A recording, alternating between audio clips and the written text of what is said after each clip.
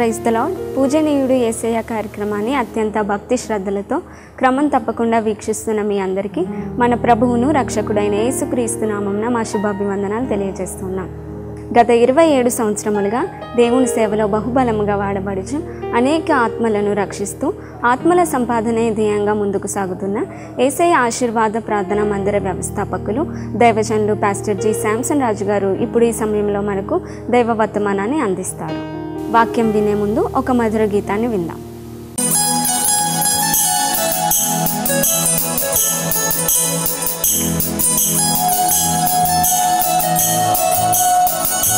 కాలాలు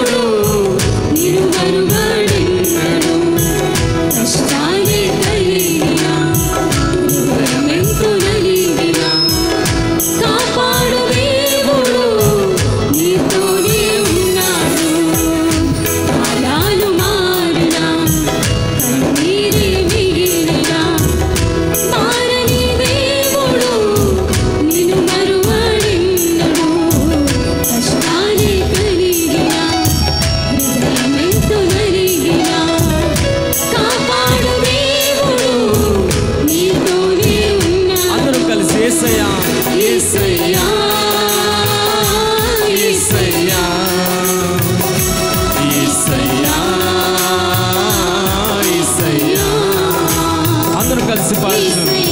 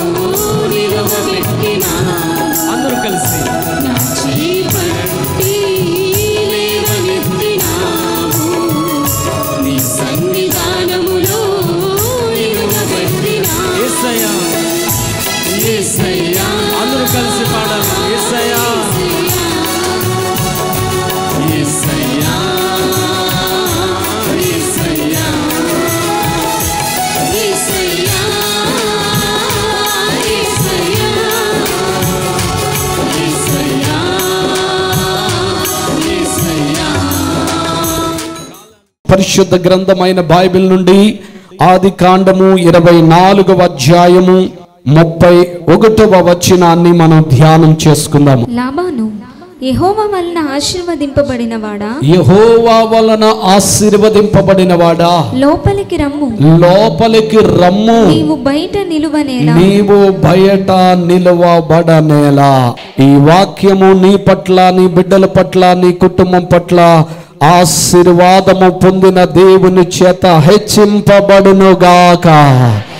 అబ్రహాము కుమారుడైనటువంటి సాకు పెండ్లి వ్యవహారములో దేవుడు ఎలియాజరును అబ్రహాము పంపిస్తూ మెసపతోమియా దేశానికి నా స్వజనుల యొద్దకు నిన్ను పంపిస్తూ ఉన్నాను.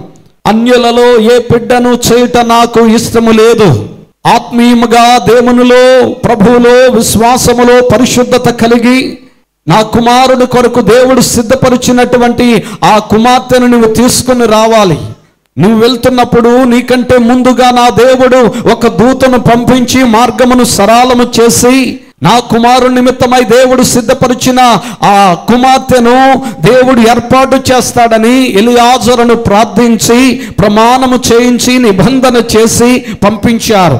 ప్రియమైనటువంటి దేవుని బిడ్డలారా నీ యొక్క కుమారుని విషయములో నీ కుమార్తె విషయములో ఒకవేళ వివాహ విషయములో ఉద్యోగ విషయములో వ్యాపార విషయములో ఒక ప్రత్యేకమైన ఉద్దేశముతో నీవు ప్రార్థన చేస్తున్నట్లయితే దేవుని బిడ్డవైన నీవు అబ్రహాము ఎలాగైతే దేవుని కృపచేత నింపబడిన వాడై దేవుని చిత్తము కొరకు కనిపెట్టాడో అలాగే ఎలియాజరు కేవలం మనుష్యులతో లోకరీతిగా అతడు కట్నమా కానుకల వెండ బంగారమా ఏది పొలమా భాగ్యమా అందమా కలరా క్యాస్టా క్యాషా అని ఈ భౌతికమైన వాటి కొరకు ఎదురు చూడక దేవుని యొక్క ప్రణాళికలో దేవుని చిత్తములో నా కుమారుని కొరకు కుమార్తె కొరకు ఏ బిడ్డను సిద్ధపరిచాడో ఆ కుమారుడే దైవ సంకల్పం ప్రకారం దేవుడు ఏర్పాటు చేసిన బిడ్డని అబ్రహాము ఎలాగైతే విశ్వాసముతో నిరీక్షణ కలిగిన వాడై ప్రార్థన పూర్వకంగా తన కుమారునికి కోడలను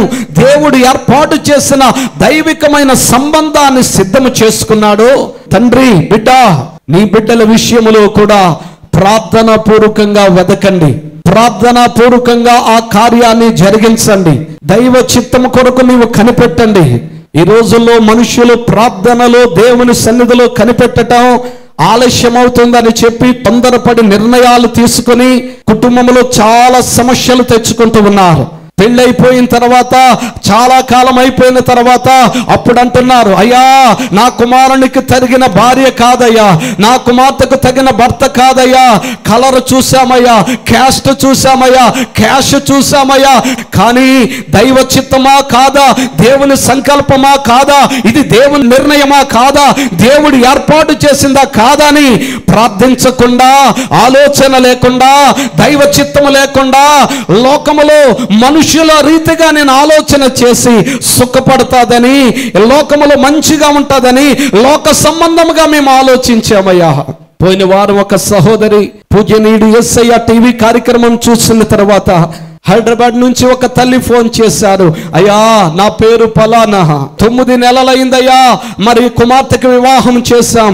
అమెరికా నుండి వచ్చిన సంబంధం అని ఒక మంచి సాఫ్ట్వేర్ ఇంజనీర్గా ఒక పెద్ద కంపెనీలో ఉద్యోగస్తుడని చెప్పి అయ్యా మేము నా కుమార్తె బాగుంటది ఆనందంగా ఉంటది ఓ డబ్బు ఆస్తి వస్త్రము లోటు లేకుండా ఉంటది విదేశంలో అల్లుడు ఉద్యోగం చేస్తున్నాడు కదా అని చెప్పి ఏమాత్రం కూడా ఆలోచించకుండా ప్రార్థించకుండా దేవుని చిత్తమో తెలుసుకోకుండా వెను వెంటనే మేము వివాహం చేశామయ్యా. కానీ తొమ్మిది నెలలు అయింది నా బిడ్డ వివాహం చేసి అమెరికా పంపించిన తర్వాత ప్రతిరోజు ఏడుస్తూ నా కూతురు ఫోన్ చేస్తుందయ్యా. అమ్మా నన్ను నరకంలోనికి పంపించా. ఆస్తి ఉన్నప్పటికని ఐశ్వర్యం ఉన్నప్పటికని నాకు కావలసిన మనశ్శాంతి నాకు లేదమ్మా. ఆ తల్లి ఏడుస్తూ కన్నీటి మైమై అయ్యా అంగరంగ వైభవంగా ఫిల్మ్ నగర్లో ఎంతో వైభవంగా బిడ్డ పెళ్ళి చేసి ఓ గొప్ప సుఖభోగాలతో కోట్ల రూపాయలతో నా పిల్ల తులతూగుతూ ఉంటుంది అనుకున్నాను గానయ్యా. డబ్బుకు లోటు లేదు గాని నా బిడ్డకు మనశ్శాంతి లేకుండా ఉన్నదయ్యా. ఈరోజు నా ప్రియమైన సహోదరి సహోదరా అబ్రహాము ఏమాత్రం కూడా తన కుమారుని విషయములో తొందరపడలేదు కానీ ఎలియాజరుని పిలిచి అంటున్నాడు దేవుడు సిద్ధపరిచిన దైవ సంకల్పం ప్రకారం నా కుమారుని కొరకు ఏ కుమార్తెను సిద్ధపరిచను?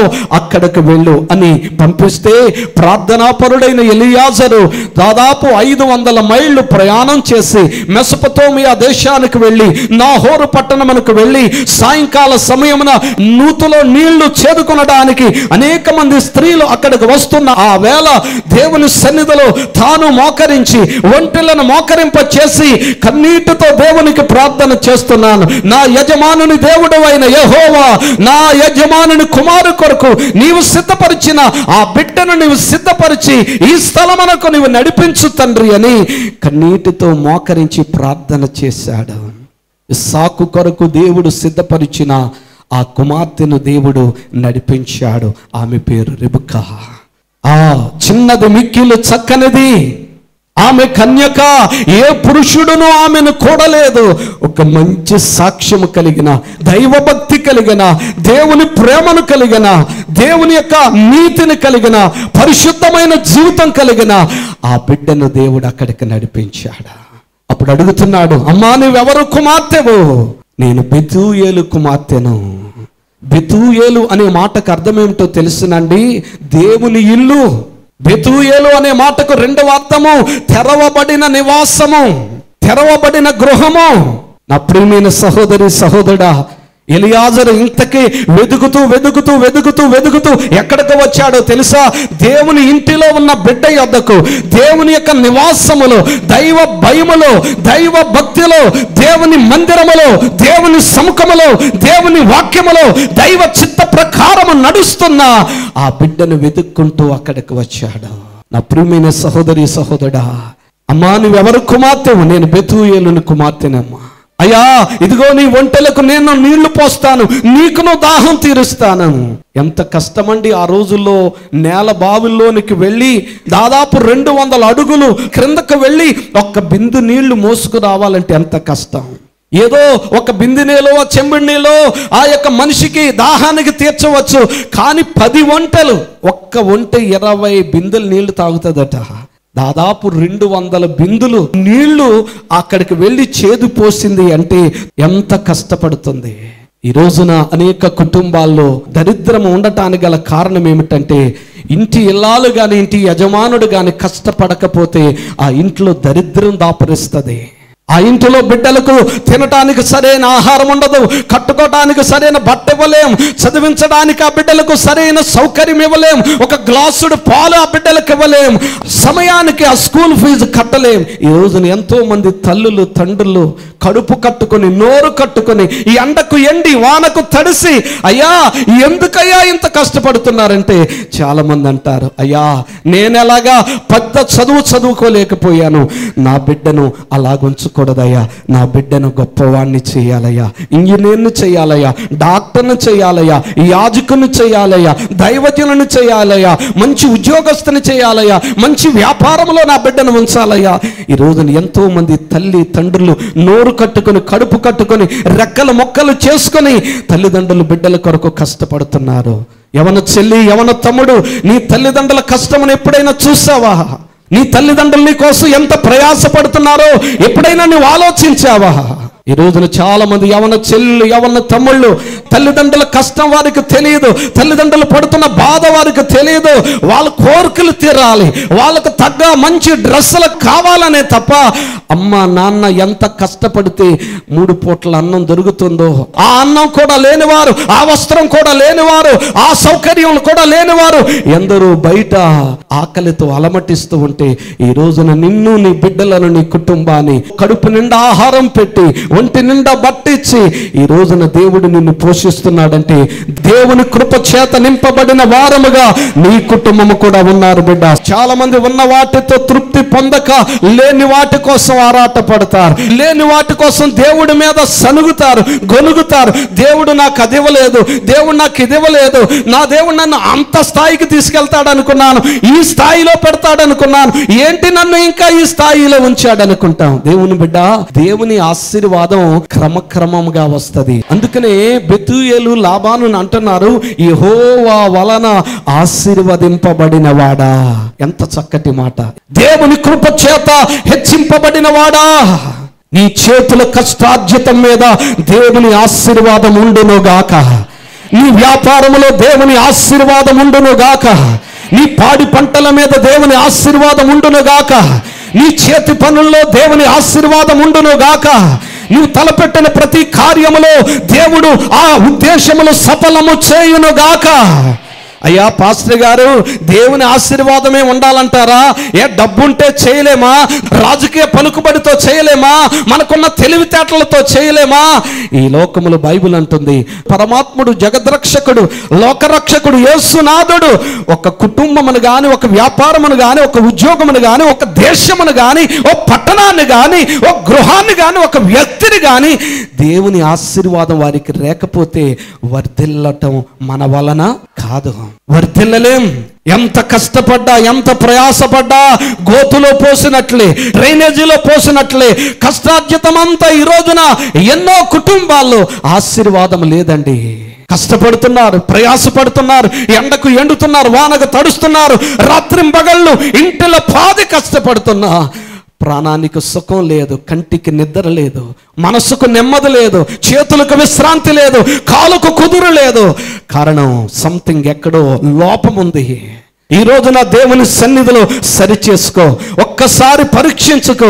నిజమే ప్రభువా నీవు లేకుండా నీ చిత్తం లేకుండా నీ సంకల్పం లేకుండా నా మనస్సులో నా ఆలోచనలో పుట్టిందంతా చేయగలుగుతున్నాను కానీ మోకాళ్ళేసి కన్నీరు కాచి ప్రభువా నా పట్ల నీ చిత్తం ఏమిటయ్యా? నా బిడ్డల పట్ల నీ చిత్తం ఏమిటయ్యా అని దేవుని సన్నిధిలో మోకరించి ప్రార్థన చేసి దైవ చిత్తాన్ని నువ్వు తెలుసుకొని గనక ఈ రోజు నుండి కూడా దైవ చిత్త ప్రకారమైన కార్యాలు నీవు చేయగలిగితే రానున్న కాలమంతా నీవు చేయు పనులన్నీ నా దేవుడు సఫలము చేయబోతూ ఉన్నాడు చప్పట్లు కొట్టి ఆమెనని చెబుదామా?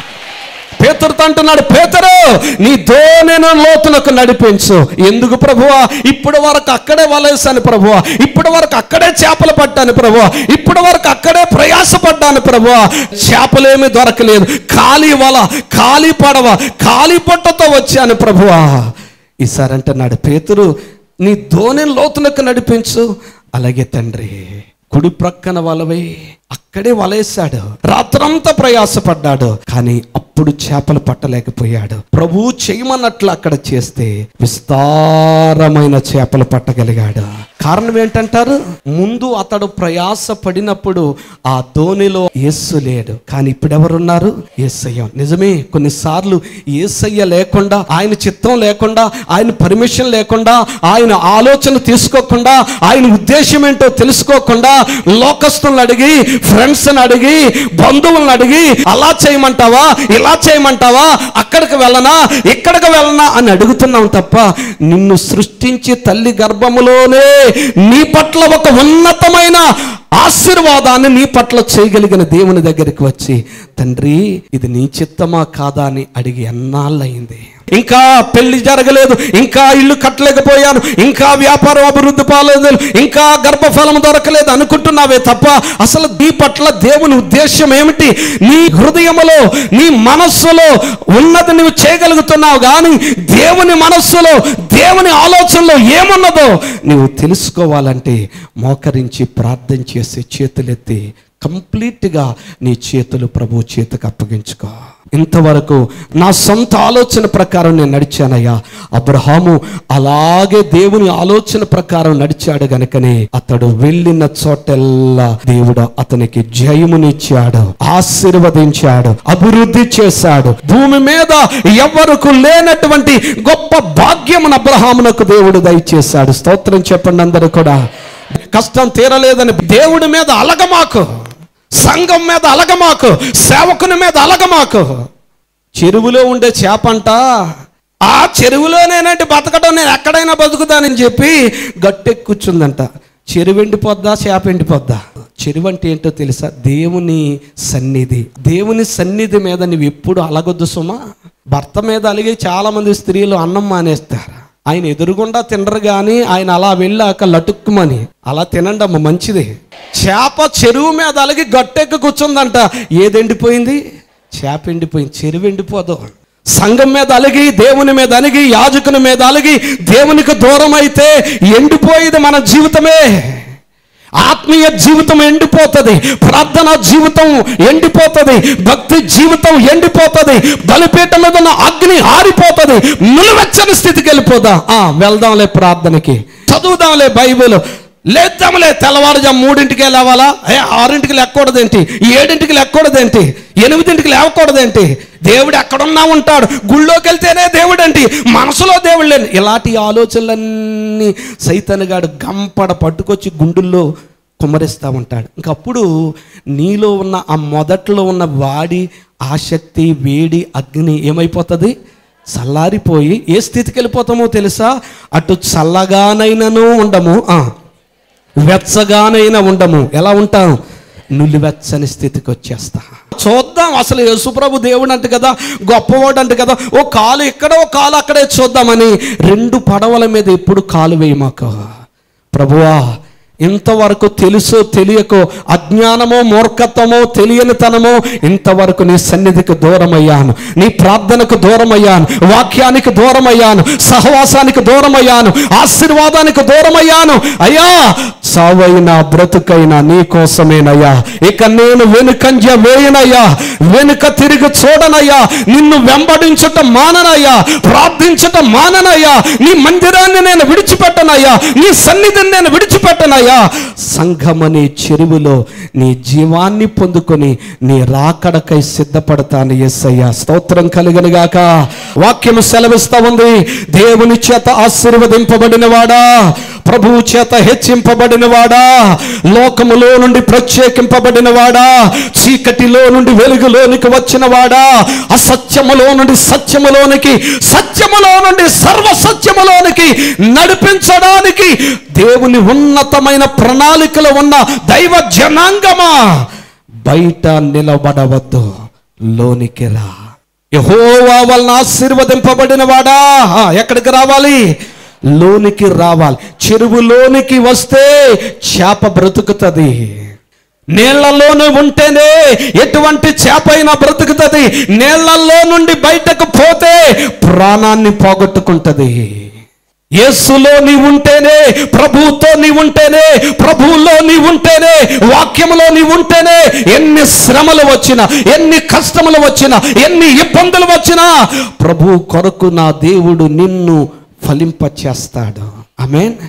నీవు నమ్ముకున్న నీ దేవుడు అన్యాయస్తుడు కాదు. నువ్వు బాధల్లో ఉన్నావు కష్టాల్లో ఉన్నావు పుట్టెడు దుఃఖములో ఉన్నావు. ఈ రోజున ఎన్నో ఇబ్బందులతో ఎన్నో సమస్యలతో అమ్మా కొన్ని పైకి చెప్పుకునే రోగాలు ఉంటాయి కొన్ని పైకి చెప్పుకోలేని రోగాలు ఉంటాయి పైకి కనబడే జబ్బులు కొన్ని ఉంటాయి పైకి కనబడని జబ్బులు కొన్ని ఉంటాయి అలాగే నలుగురికి చెప్పుకునే సమస్యలు ఉంటాయి ఎవరికి చెప్పుకోలేని బాధలు మన గుండెల్లో ఉంటాయి. ఈ రోజున ఎవరికి చెప్పుకోలేని సమస్యలతో ఎవరికి పంచుకోలేని బాధలతో నీ గుండెల్లో గూడు కట్టుకున్న ఆ దుఃఖం ఆ మంట ఆ అగ్ని పర్వతం ఈ రోజున ప్రభు సన్నిధిలోనికి నువ్వు వస్తే నా ఏసయ్య నీ సమస్యలన్నీ దేవుడు తీర్చబోతూ ఉన్నాడు. నీ కన్నీళ్ళు దేవుడు తొడవబోతూ ఉన్నాడు.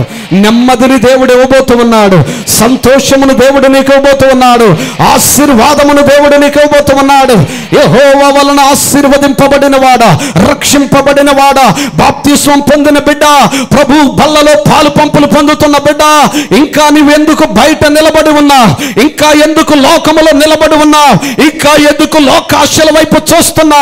విడిచిపెట్టిన విగ్రహాల వైపు ఎందుకు పరుగులెత్తుచున్నావు చేతబడి శక్తుల వైపు ఎందుకు పరుగులెత్తుతున్నావు? మాంత్రికుల దగ్గరికి ఎందుకు పరుగులెత్తుతున్నావు? విడిచిపెట్టిన ఆ సినిమాలు సీరియల్స్ వైపు ఎందుకు మరలా నీ కన్నులు ఆకర్షించబడుతున్నాయి? రా లోపలికి రా లోనికి రా యస్సు లోనికి రా ప్రభు లోనికి రా సంఘము లోనికి రా సహవాసములోనికి రా. దేవుని సంరక్షణ నీ మీద ఉంటది. ఆమె తోటలో ఉన్న మామిడి చెట్టుకి రోడ్డు పక్కన ఉన్న మామిడి చెట్టుకి తేడా ఏంటి చెప్పండి?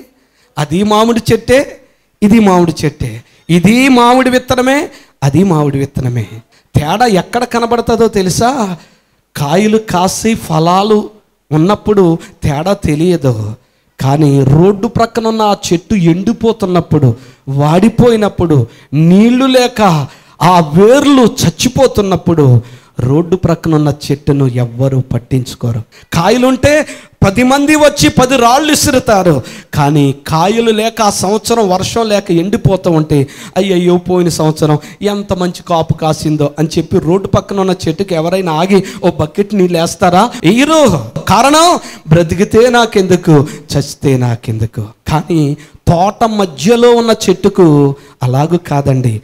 ఒక యజమాని ఉంటాడు ఒక తోటమాలి ఉంటాడు. ఎవరు పడితే వాళ్ళు వచ్చి ఆ చెట్టు మీద చెయ్యి వేయటానికి వీలు లేదు. అది ఎండిపోతుంటే నీళ్ళు పెట్టే తోటమాలి ఉన్నాడు. దాని యోగక్షేమాలు చూసే యజమానుడు ఉన్నాడు. స్తోత్రం చెప్పండి అందరూ కూడా.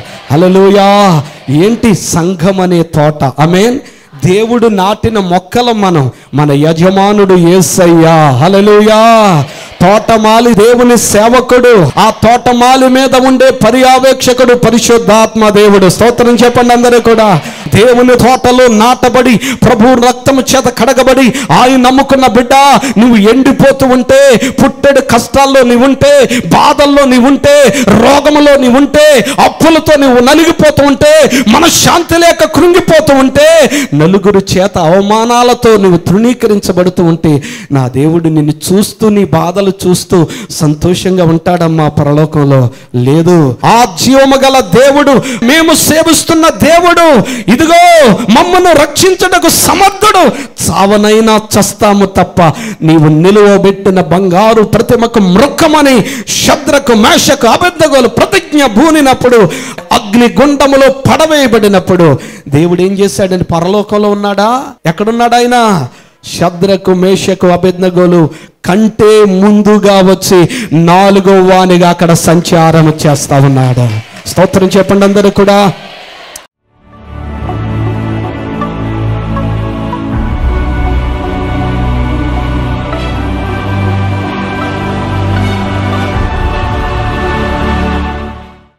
పరమ తండ్రి యహోవా వలన ఆశీర్వదింపబడిన వాడ లోనికి రమ్ము అని వాక్యం సెలవిస్తుంది. క్రీస్తులోనికి వచ్చిన వారికి ప్రభులోనికి వచ్చిన వారికి సంఘములోనికి వచ్చిన వారికి రక్షణలోనికి వచ్చిన వారికి నాయన ఆశీర్వాదమున్నదని రక్షణ ఉన్నదని విడుదల ఉన్నదని సంరక్షణ ఉన్నదని కాపుదల ఉన్నదని పరలోకం ఉన్నదని నిత్య జీవం ఉన్నదని వాక్యము ద్వారా నీవు తెలియపరిచావు నాయన. ఏ కుటుంబంలో సమస్యలు ఉన్నాయో ఏ కుటుంబంలో బాధలు ఉన్నాయో ఏ బిడ్డల జీవితాలు వేదనలు ఉన్నాయో ఈ యొక్క వాక్యము విన్న ప్రతి వారి జీవితములో నెమ్మది కలుగునుగాక. సమస్యల నుండి విడుదల కలుగునుగాక. అక్రమ సంబంధముల నుండి విడుదల కలుగునుగాక. అప్పుల నుండి విడుదల కలుగునుగాక. పాపపు బంధకము నుండి విడుదల కలుగునుగాక. శాపపడి శక్తుల నుండి విడుదల కలుగునుగాక. ప్రార్థిస్తున్న ఈ గడియలోనే యేసు నామములో ప్రతి కుటుంబములో శాంతి సమాధానమును దయచే. నీ రాకడకై ప్రతి ఒక్కరిని సిద్ధపరచాలి. యేసు పరిశుద్ధ నామమును అడుగుచున్నాము తండ్రి. ఆమెన్. ఆమెన్. ఆమెన్. నిరంతరము ప్రభు రాకడ పర్యంతము. ఆయన ఆశీర్వదించే హస్తము మీకు మీ బిడ్డలకు మీ వ్యాపారాలు మీ ఉద్యోగాలు మీ పాడి పంటల్లో నిరంతరము తోడయుండునుగాక హలో మీ ప్రార్థనా అవసరతలు మరియు విశ్వాసం ద్వారా దేవునిచే నడిపించబడుతున్న ఈ సువార్త పరిచర్య కొరకు కానుకలు పంపగోరిన ఎడల మా చిరునామా. Pastor G. శాంసన్ రాజు గారు ఏసై ఆశీర్వాద ప్రార్థనా మందిరం Morampudi Srilakshminagar HP petrol bunk ఎదురుగా Rajahmundry east Godavari district Andhra Pradesh India. మా phone numbers nine six seven six four seven five double two six and nine seven zero four zero two three five double nine. See you next week in the same channel to the same time praise the Lord